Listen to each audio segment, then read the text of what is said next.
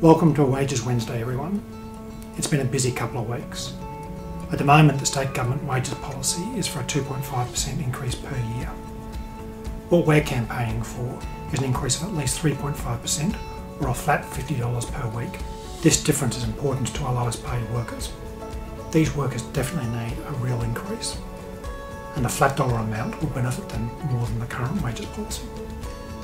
That's why it's so important that Together members continue to be active in the campaign, to recruit their colleagues to the campaign and become active in their workplace.